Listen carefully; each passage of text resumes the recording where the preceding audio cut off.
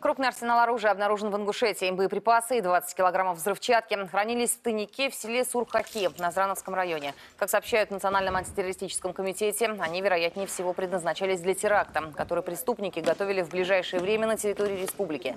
Кроме взрывчатых веществ, изъяты также противотанковые ракеты, пулемет, автоматы, свыше 5000 снарядов разного калибра, гранаты и многое другое.